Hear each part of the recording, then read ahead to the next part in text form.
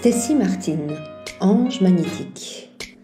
Nous l'avons découverte dans Infomaniac, film choc du réalisateur Lars von Trier, sorti en 2013, il y a tout juste 10 ans.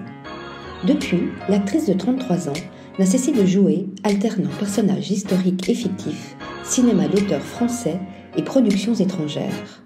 Aujourd'hui, à l'affiche du film La Graine de la réalisatrice Héloïse Lang, aux côtés de François Damiens et de Marie Papillon, elle joue aussi dans le nouveau film de Martin Provost, Bonnard, Pierre et Marthe, dans lequel elle incarne Renée Monchatti, maîtresse du peintre qui troubla un temps le couple fusionnel joué par Vincent Macken et Cécile de France.